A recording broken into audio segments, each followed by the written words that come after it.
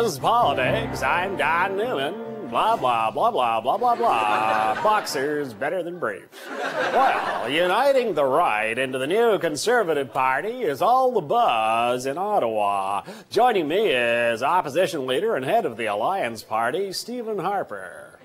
Hello, Stephen Harper. Conservative Party rules.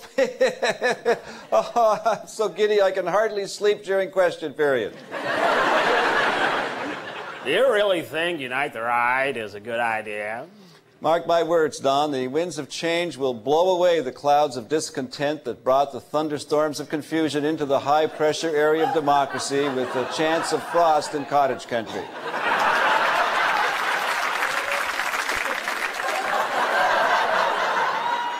And what exactly does that mean? I'm not sure. Joe Clark gave it to me.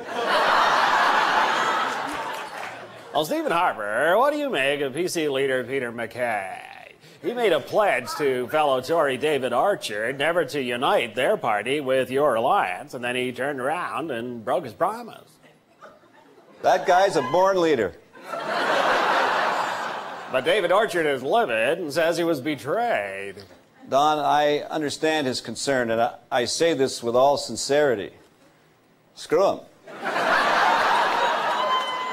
Now, do you and Peter MacKay have the necessary experience to lead this new party? Absolutely. Between the two of us, we have almost two years of leadership under our belts.